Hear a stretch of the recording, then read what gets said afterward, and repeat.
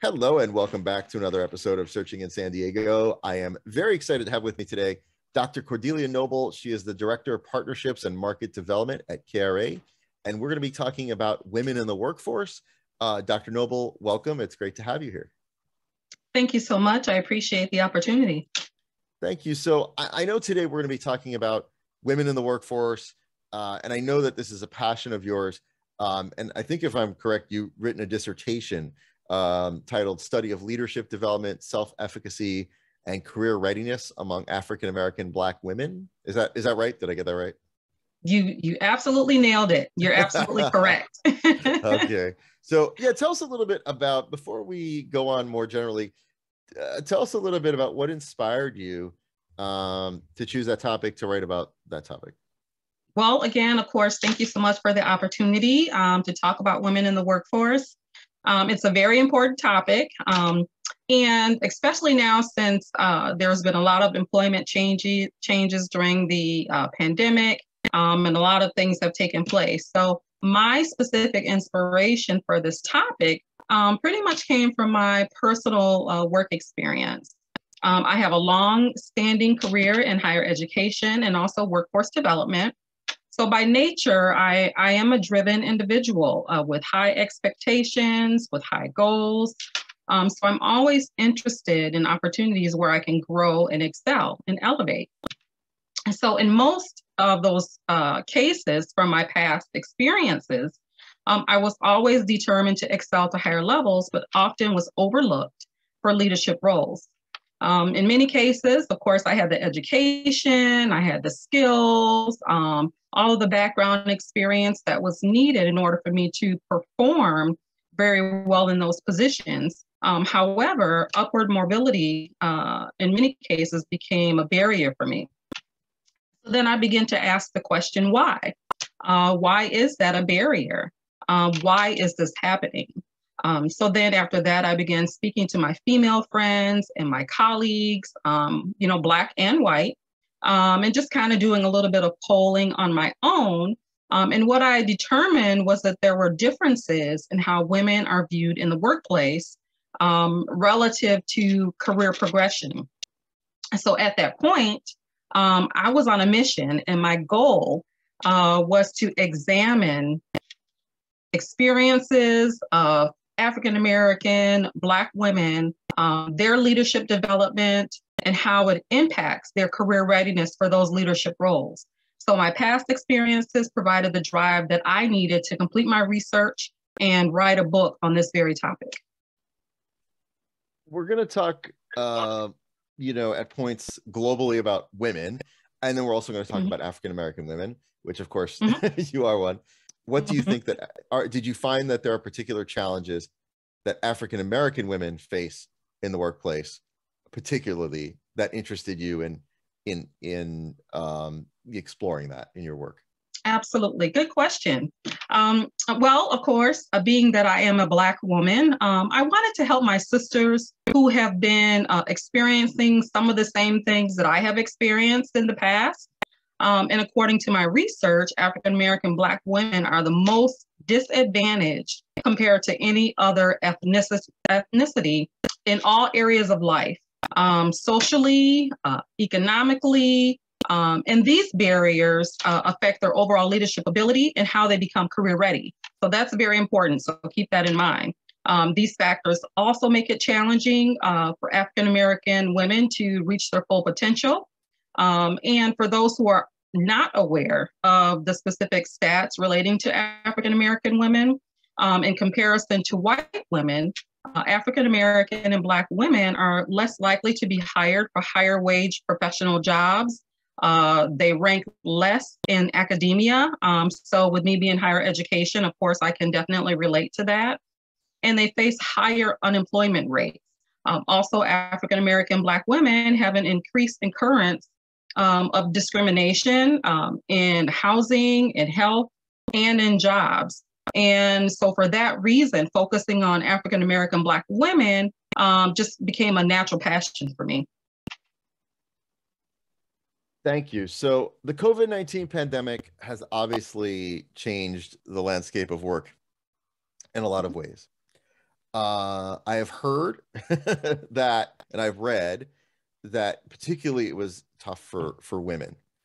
And do you have any thoughts or insights about the impact of COVID 19, of the pandemic for women in the workplace in particular? Absolutely. As we know, uh, balancing work and family um, obligations has long been a reality for women in the workplace.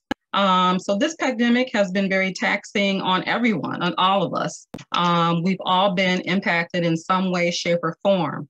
So specifically, women in general, historically, women have been the primary caregivers um, in their families. This has remained true uh, even as most women work outside of the home and they provide important contributions to the household income.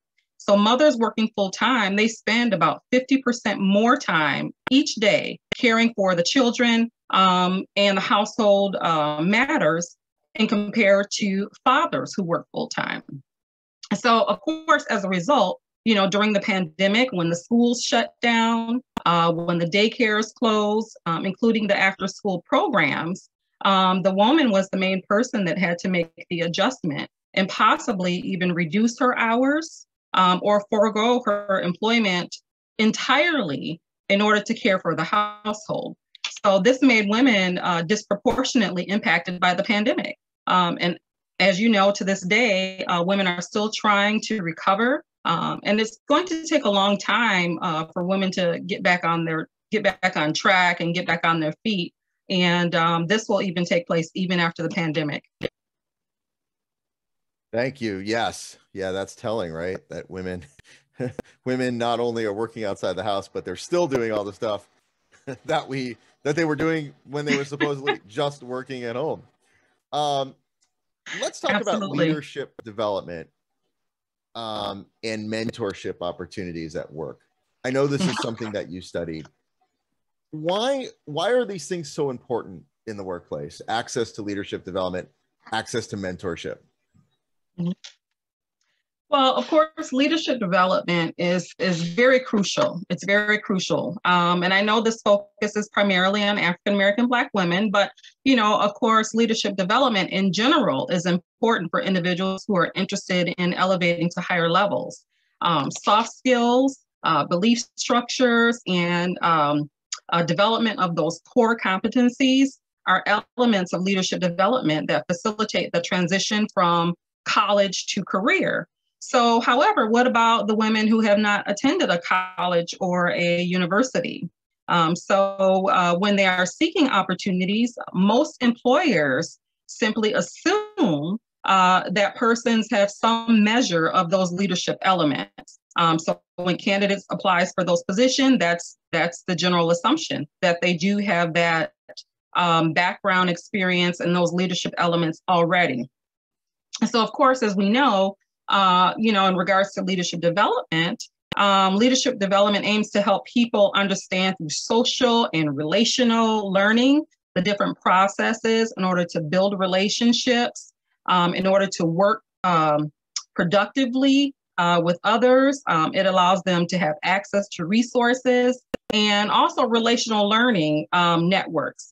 So while uh, DEI, and you hear this a lot um, lately, more in the general public, um, so while DEI and those initiatives um, uh, and encouraging diversity becomes a focus uh, and more critical to those corporations, African American Black women cannot take advantage of opportunities if they lack training in being effective leaders.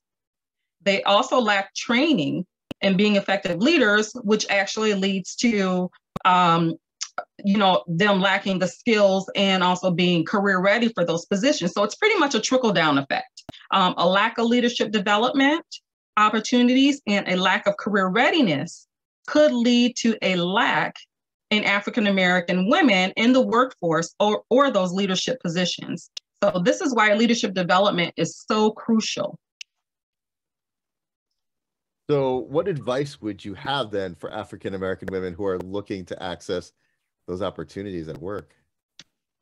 Well, definitely. First, uh, you know, we need to uh, educate women. We need to educate Black women um, in regards to the importance of leadership development, mentoring, um, and of course, education is key. Um, and hopefully, uh, this podcast will be a benefit to someone. Um, they can glean some information and some insights from the information that I'm sharing today. Um, I would also encourage any African American or Black woman who are trying to access leadership development opportunities or mentorship opportunities for that matter uh, to diligently seek out those opportunities. That's that's going to be important.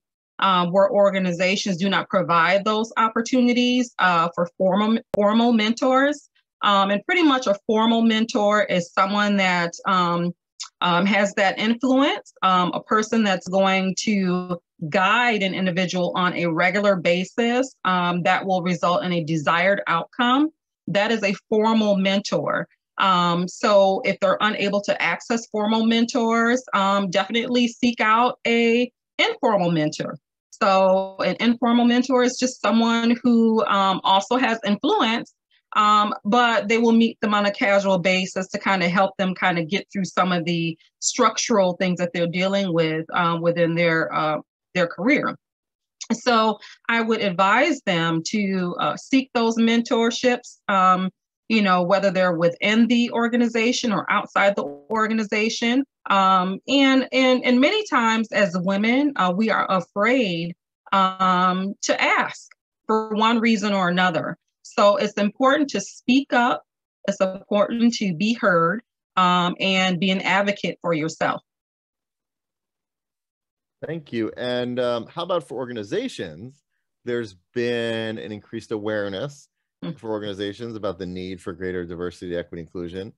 Mm-hmm. Uh, what advice would you have for organizations who want to re- who want to recruit but also retain yes. uh, women of yeah uh, African American women?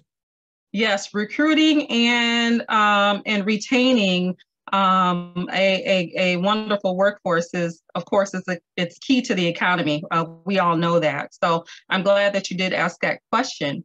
Um, first, let me say uh, that hiring candidates, um, such as African American, Black women, to ensure diversity um, and a qualified talent pool is necessary uh, for the on, on, a global level. It's very necessary. Uh, workplace diversity is critical for employees because um, it helps to build an excellent reputation for the organization.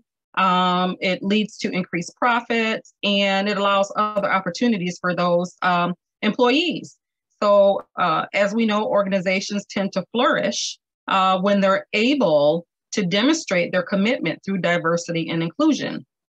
So, of course, in order to do this, um, my suggestion is that companies uh, must take a first step and have on their staff a chief uh, diversity and inclusion officer, uh, someone who's going to focus on those efforts and move them forward and, and ensure that those DEI initiatives are being met. Um, because as we know, DEI, um, you know, it, it looks great on paper and it sounds good when you say it. Um, however, often implementation is a totally different issue. Um, so it's key that organizations are held accountable and um, that they are implementing uh, DEI, diversity, equity, and inclusion um, effectively. This has been great. I really appreciate it. I, I kind of want to just uh, open up the floor to you. Is there anything else, uh, any final words that you'd like to share with our listeners? I guess I would just have to say to the listeners, um, just I want to encourage them, um, whoever's listening to this podcast, um, and just say that, of course, you are responsible uh, for your own career um, and uh, just do whatever it is that you need to do to achieve the higher levels that you desire. Um, speak up, ask questions, uh, and advocate for yourself because you do matter. And how can people learn more about your work? Like we can find your dissertation online, right? Tell us a little yes. bit about that. Yeah. yes, you can you can find it online. Um, it's published through ProQuest. So, you know, any individuals can go online to proquest.com and type in my name or type in the title of my book. um, a study of leadership development, self-efficacy, and career readiness among African American Black women. Um, you can pull that up online. You can Google um, the title as well, and I will come up. So, of course, I'm always um, here to support specifically African American Black women. Um, of course, I have been there, so I can relate. Um, and this is how I choose um, to give back to the community in my own way. Along with, of course, another uh, leadership opportunity uh, that I'm currently working on, which is not yet public. Um, but, you know, I will be addressing some of the different points that we talked about in this podcast. Um, I'm always available uh, via email at knoble at kra.com. Um, should individuals be interested in learning more about my work or if they would like to purchase a book, um, or uh, if they have any opportunities for uh, speaking engagements uh, where they can learn more of how to support African American and Black women within their organizations. Dr. Kordilia Noble, thank you so much. Thanks for joining me today at Search in San Diego and for sharing your words of wisdom with us. Thank you so much.